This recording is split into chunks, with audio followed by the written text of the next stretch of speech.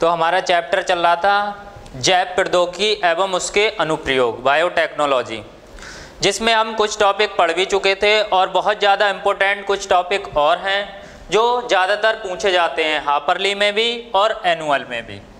तो सबसे पहला टॉपिक है इसमें, जो आप पढ़ोगे, और बहुत ही ज़्यादा पूछा जाने वाला टॉपिक है पेटेंट जिसका नाम है तो ये छोटा सा टॉपिक है और बहुत ज़्यादा पूछा जाता है कि पेटेंट क्या होता है। ऐसी एक टॉपिक और है बायोपायरेसी तो दोनों में अंतर भी समझना है कभी कभी दोनों को अंतर करके आ जाता है कि पेटेंट और बायोपायरेसी क्या होता है इन दोनों में। तो सबसे पहले पेटेंट के बारे में समझेंगे, ये है क्या? तो आपको ध्यान रखना है, ये एक अधिकार होता है। अधिकार जैसे हमने पढ़ा है कि हमारे भी अधिकार होते हैं, कुछ उसी प्रकार से ये एक अधिकार है। अधिकार क्या है? जैसे कोई कंपनी है तो आपने देखा होगा, उदाहरण के तौर पर मान लो यहाँ पर भारत में गन्ना होता है। भारत है और इसमें गन्ने की फ़सल ज़्यादा होती है, मान लिया। उदाहरण के तौर पर अब हमने कहा गन्ना की पैदावार पैदावार है, वो भारत में हो रही है। शुगर की पैदावार, चीनी की, भाई कौन बना रहा है? भारत बना रहा है। तो इसमें क्या करते हैं? भारत, जो विदेशी लोग होते हैं, विदेशी फॉरेन देश के, वो क्या भारत आते हैं और वो देखते हैं कि यहाँ पर क्या है? गन्ने की पैदावार ज़्यादा हो रही है। तो वो क्या करते हैं? एक पेटेंट बना लेते हैं। पेटेंट का मतलब होता है रजिस्ट्रेशन, जैसे आपने देखा, लाइसेंस। लाइसेंस बनाना। तो वो कहते हैं कि भारत में भाई गन्ना बहुत हो रहा है, इसका हम लाइसेंस बनवा लेते हैं कि इसे और कोई नहीं लेगा। हमने उसका क्या कर लिया? लाइसेंस कर लिया पेटेंट कर लिया। तो ये विदेशी लोग क्या करते हैं? इस भारत के गन्ने का क्या कर लेते हैं? एक प्रकार से लाइसेंस बनवा लेते हैं पेटेंट करवा लेते हैं। अब हमने कहा पेटेंट करा लेंगे तो हमने कहा, जो भी इसमें जो गन्ना है, अब इन्होंने मान लो विदेशी हैं, ये विदेश वाले लोग हैं। और इन्होंने बना लिया पेटेंट पेटेंट कर लिया। जबकि खोज किसमें हुई थी? भारत में। भाई, गन्ने की पैदावार कहाँ, उत्पादन कहाँ हुआ था? भारत में हुआ था। और भारत वाले ये लोग नहीं समझे, लेकिन ये विदेशी बहुत चालू होते हैं। ये लोगों ने क्या करा? बोले, भारत में गन्ना है, इसका हम रजिस्ट्रेशन करा लेते हैं। अब क्या होगा? ये रजिस्ट्रेशन जब पेटेंट करा लेंगे तो ये लोग जो विदेशी हैं, अब इसको अगर गन्ने के, मान लो कोई खरीदारी करेगा, इस गन्ने को खरीदेगा तो वो गन्ने को खरीदने के लिए इनसे परमिशन लेना पड़ेगी क्योंकि इनके पास लाइसेंस है। अगर कोई गन्ने को लेने के लिए जाएगा तो वो भेजेंगे कि भाई, ये विदेशी लोगों से पूछो, इनके पास रजिस्ट्रेशन है, तभी आपका मान होगा और वो लोग जाएँगे तो इसको क्या देंगे? पैसे देंगे, तभी वो अपना रजिस्ट्रेशन शो करेंगे, भाई, आप गन्ना ले सकते हो। तो वैसे ही ये पेटेंट एक अधिकार होता है। एक प्रकार से रजिस्ट्रेशन करना होता है। इसमें क्या होगी? किसी भी किसी भी व्यक्ति जो व्यक्ति है, कोई भी व्यक्ति, या आप कहोगे संस्था को, किसी भी संस्था मतलब कोई संस्था है, संस्था को, कोई भी व्यक्ति को मिल सकता है, जैसे या कोई भी संस्था, जैसे हमने कहा बड़े बड़े ऑर्गेनाइजेशन खोले हुए हैं, संस्थाएँ बनी हुई हैं और वो कुछ ना कुछ करती हैं। तो ये अधिकार ऐसा है कि किसी भी व्यक्ति या किसी भी संस्था को क्या है तो आपको ध्यान रखना है, नई सेवा। या तो वो नई सेवा देता हो, भाई नई नई सेवाएँ, या तकनीक तकनीक का प्रयोग करे या आप कहोगे, खोज का प्रयोग करे कोई भी। मतलब कोई भी व्यक्ति, किसी भी, कोई भी व्यक्ति हो सकता है। वो व्यक्ति हो या कोई संस्था हो, वो क्या करेगी? नई सेवा करेगी मतलब नई चीज़ लॉन्च करेगी कोई भी चीज़। या कोई तकनीक उपयोग में लाई जा सकती है, या कोई खोज हो सकता है, या उत्पादन उत्पादन, या कोई डिज़ाइन या डिज़ाइन के लिए। अब ये क्या है? हमने कहा एक अधिकार है। एक प्रकार का क्या पेटेंट क्या है? एक अधिकार है जो किसी व्यक्ति या संस्था को दिया जाता है। किस क्षेत्र में? तो आप कहोगे, या तो उसने क्या करा हो? नबी नई है जो नई नई सेवाएँ हैं, वो दी हो। या तकनीकी नई दी हो, या नई कोई खोज करी हो, या उत्पादन नया करा हो कुछ भी, या डिज़ाइन किया हो कुछ भी नया। के लिए दिए जाते हैं। तो के लिए दिए जाते हैं और उसी को हम क्या कहते हैं? पेटेंट कहते हैं। वो कहलाएँगे आपके पेटेंट कहलाते हैं। तो ये बात समझ में आ गई पेटेंट अब वैसे ही जैसे हमने उदाहरण दिया था ये कोई भी व्यक्ति हो सकता है। मान लो यहाँ पर भारत में एक व्यक्ति रह रहा था। अब हमने कहा यहाँ पर कोई व्यक्ति है, कोई भी व्यक्ति हो सकता है। ये व्यक्ति भारत में रह रहा है। इसने या तो कुछ खोज कर दी हो, या उत्पादन बढ़ाया हो, या कोई डिज़ाइन बना दिया हो, कोई भी डिज़ाइन, या कोई संस्था हो सकती है, उसने क्या करा हो, उत्पादन बढ़ा दिया हो, या आपकी खोज कर दी हो, या तकनीकी का प्रयोग करा हो अब इस तकनीक को करने के लिए उसे क्या करना पड़ेगा? उसके लिए एक पेटेंट देना पड़ता है, एक नाम रजिस्टर कराना पड़ता है कि ये चीज़ मैंने खोजी है। अगर वो ये ऐसा नहीं करता है तो मान लो कल को दूसरा व्यक्ति आया, उसने कहा, इस व्यक्ति ने तो क्या? मान लो इस व्यक्ति ने कुछ भी खोज कर दी। अब खोज करने के बाद ये दूसरा व्यक्ति आया और इसने दावा कर दिया कि ये खोज तो मैंने की है। ये खोज मैंने की है। तो क्या? मान होगी? हाँ भाई, मान होगी क्यों? क्योंकि इसने क्या नहीं कराया? पेटेंट नहीं कराया। अगर ये पेटेंट रजिस्ट्रेशन करा देता कि मैंने ये खोज की है, इसका उत्पादन मैंने किया है तो दूसरा ये व्यक्ति कभी भी इस पर ये नहीं कह सकता कि मैंने कराया है। क्यों? क्योंकि इसको पहले ही मिल चुका है, पेटेंट का रजिस्ट्रेशन लाइसेंस से पहले ही मिल चुका है। अब ये खोज दूसरे की नहीं मानी जाएगी, चाहे वो कितना ही कुछ कर ले। तो ऐसी यहाँ पर क्या है? पेटेंट एक प्रकार का अधिकार है, जो किसी भी व्यक्ति या संस्था द्वारा नई खोजों के लिए, नए तकनीकी लिए, नए सेवाओं के लिए, नए उत्पादों के लिए डिज़ाइन के लिए दिए जाते हैं। के लिए दिए जाते हैं, उन्हें क्या कहते हैं? पेटेंट कहते हैं। मतलब एक प्रकार का रजिस्ट्रेशन है। ठीक है? जिससे कि आपको पता चल जाए कि ये चीज़ हमारी खोजी हुई है। क्लियर हो गया पेटेंट दूसरा यहीं पर समझ लेते हैं बायो बायो पायरेसी अब देखो, इसका मतलब क्या होता है? बायो पायरेसी का। इसको ध्यान से समझेंगे, इसी से मिलता जुलता है। वायो मीन्स होता है जैब। इसका मतलब होता है जैब। और पायरेसी मीन्स होता है, पायरेसी मीन्स होता है आपका चोरी। क्या करोगे? चोरी। तो हमने कहा दो चीज़ें आपको ध्यान है, जैब, चोरी। ठीक है? अब जैव संसाधन, जैविक जो संसाधन होते हैं, उनकी चोरी होती है। वो कहलाता है बायोपायरेसी। कैसे करके? जैसे हमने कहा यहाँ पर जो विदेशी लोग थे, बहुत चालू थे। उन्होंने क्या करा? बोले, भारत में गन्ना बहुत हो रहा है। और गन्ने का क्या कर लिया? उन्होंने पेटेंट बनवा लिया।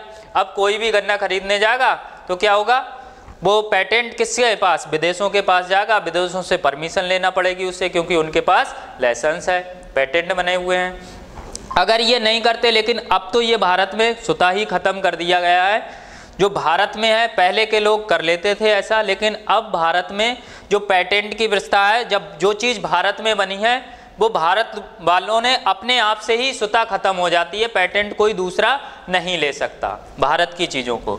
तो यहाँ पर हमने कहा जैब चोरी। जैब चोरी कैसे होती है? तो हमने कहा, इसमें जैब चोरी में आपको ध्यान रखना है कि जो भी जैविक संसाधन होंगे आपके, जैसे हमने कहा, कोई भी संगठन है, संगठनों द्वारा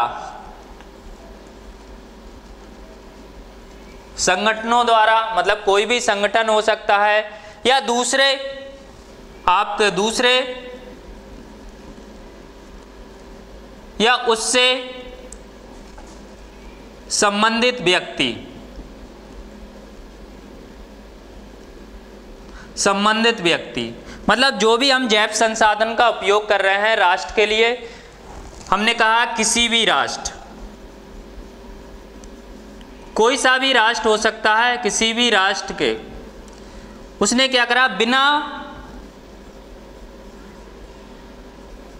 व्यवस्थित अनुमोदन के। अनुमोदन क्या है? बिना परमिशन के। मतलब बिना व्यवस्थित क्रम के उसने क्या करा? जैव संसाधनों का उपयोग कर लिया। अनुमोदन व क्षति पूरक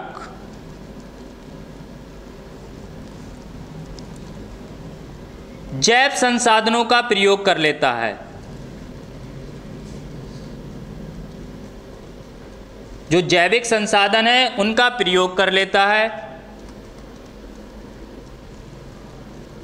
करना। क्या कहलाता है? तो आपको ध्यान रखना है, बायोपायरेसी कहलाता है।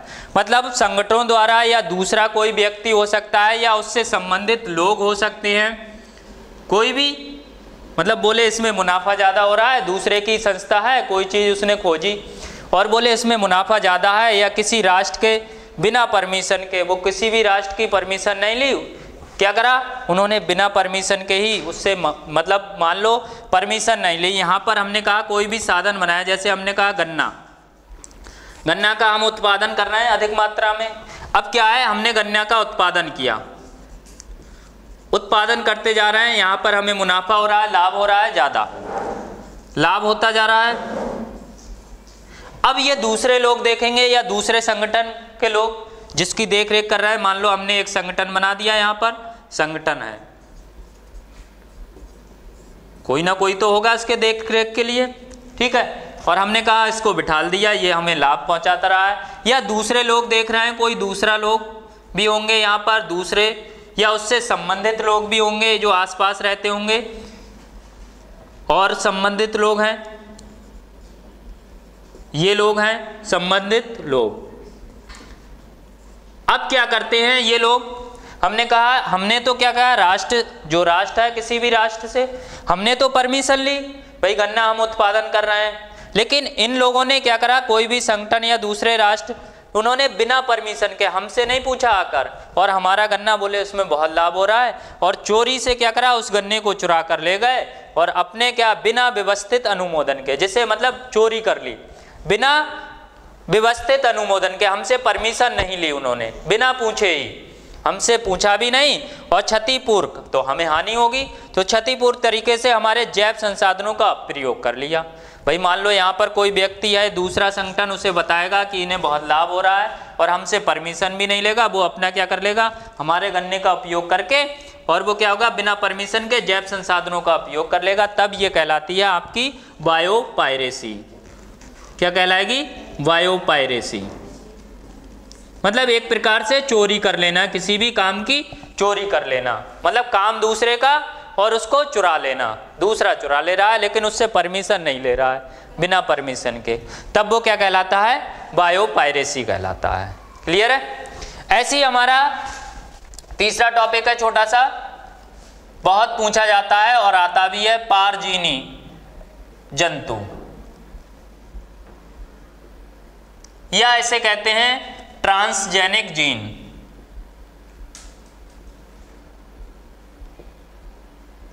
ट्रांसजेनिक जीव या जंतु। तो ये टॉपिक भी बहुत पूछा जाता है। अब देखो, इसमें क्या होता है? ट्रांसजेनिक जीन की बात कर रहे हैं, जंतुओं की बात कर रहे हैं। तो आपको ध्यान रखना है पार जीनी मतलब जीन होगा इसमें कुछ ना कुछ। तो ऐसे जंतु आपको ध्यान रखना है। इसके अंतर्गत ऐसे जंतु आते हैं। ऐसे जंतु जिसके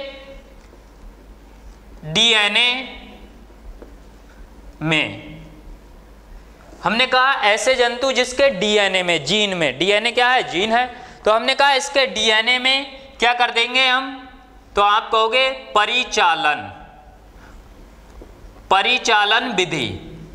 किसका प्रयोग करेंगे? परिचालन विधि द्वारा। आपको ध्यान रखना है कि परिचालन विधि द्वारा। हमने एक विधि का उपयोग किया, जिसका नाम है परिचालन विधि। तो हम क्या कर रहे हैं? ऐसे जंतु जिनके डीएनए में परिचालन विधि द्वारा एक एक्स्ट्रा जीन डाल दे रहे हैं। द्वारा एक अतिरिक्त अतिरिक्त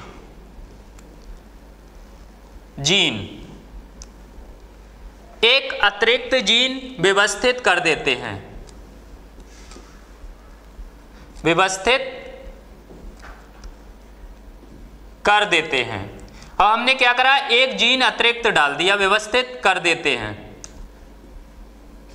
ठीक है? मतलब ऐसा जंतु, हमने कोई जंतु लिया?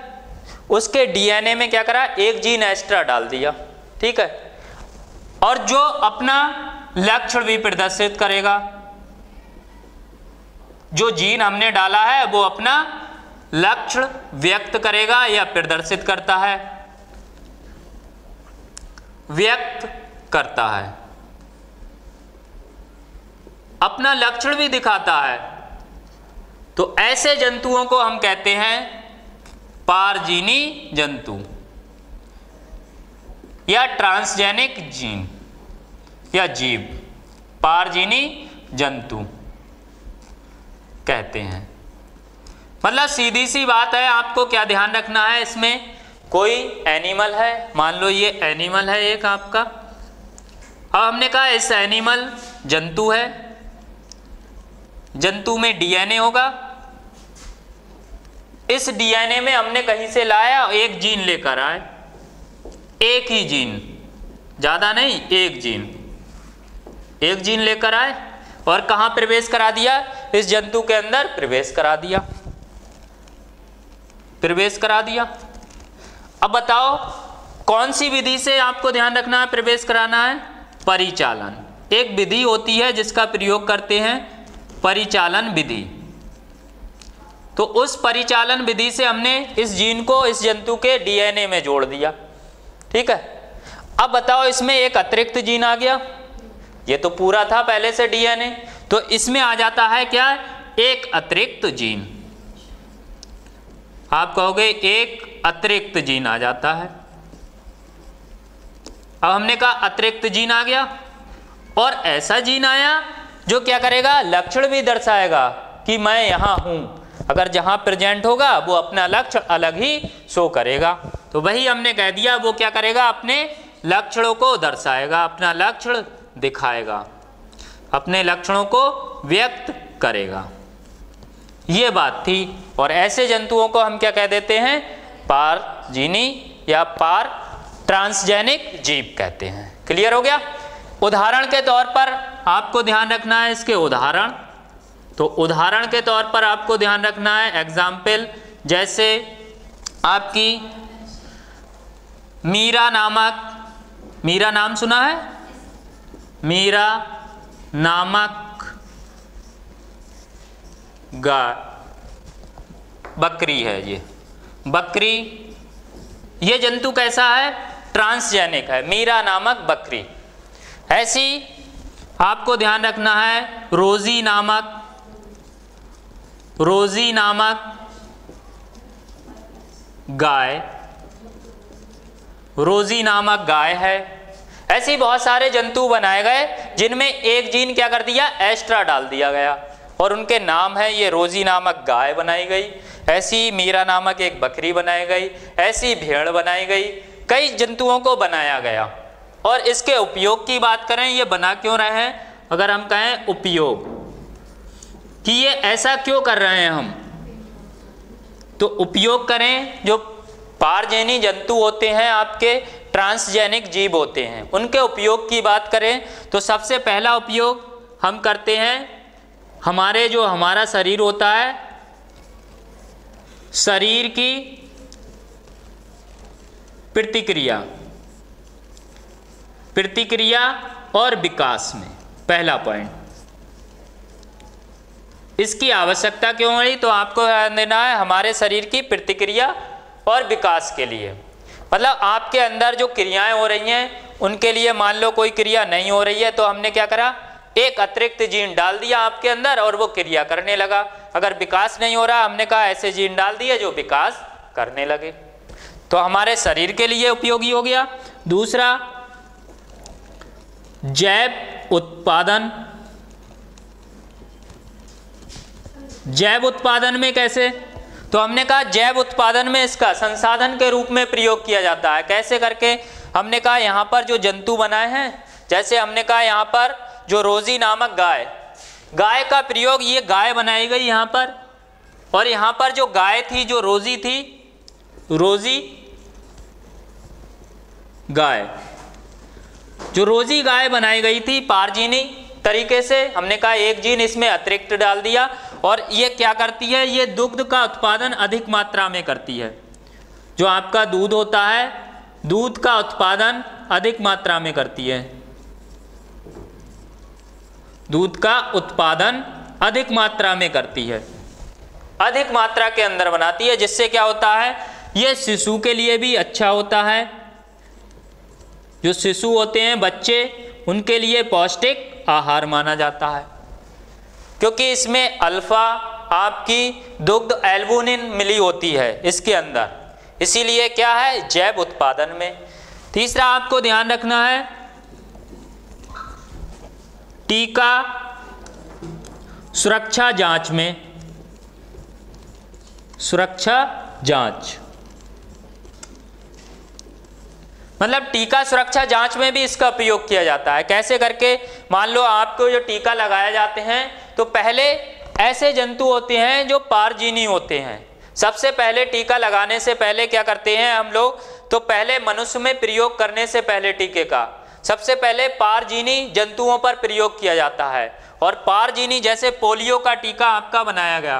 तो पोलियो का टीका जो आपको लगाया जाता है, आपको लगाने से पहले जो पोलियो का टीका था तो आपके टीके की सुरक्षा के लिए पहले किस पर लगाया गया था? पोलियो का टीका और ये पारजीनी जंतु था, जिसका नाम था चूहा।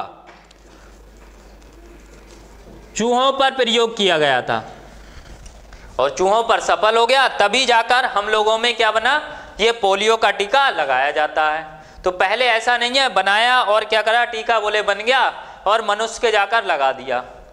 क्यों? हो सकता है उसमें कुछ चेंजिंग हो जाए, गड़बड़ी हो जाए। तो इसलिए टीका सुरक्षा जाँच के लिए भी हम पारजीनी जंतुओं का उपयोग करते हैं, जैसे कि पोलियो का टीका। पोलियो का टीका मनुष्य को लगाने से पहले कहा पारजीनी चूहों पर प्रयोग किया गया था और उससे क्या हुआ? सुरक्षा के रूप में उस पर कुछ नहीं हुआ। आराम से खेलता कूदता रहा, वर्क करता रहा। इससे मतलब पोलियो का जो टीका है, सुरक्षित हो गया।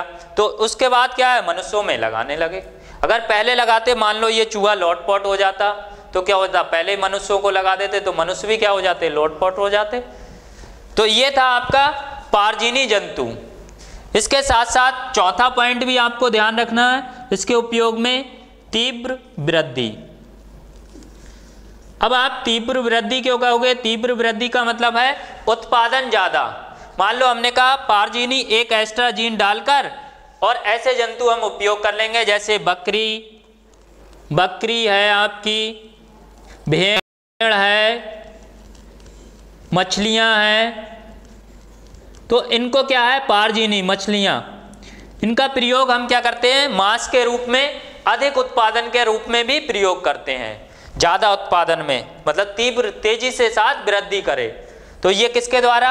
पारजीनी जंतु के द्वारा। पारजीनी क्या है? एक प्रकार का एक जीन एक्स्ट्रा डाल देंगे और वो क्या कहलाएगा? अपने लक्ष्य प्रदर्शित करेगा, उसको कह देंगे पारजीनी जंतु या ट्रांसजेनिक जंतु। तो क्लियर है ये टॉपिक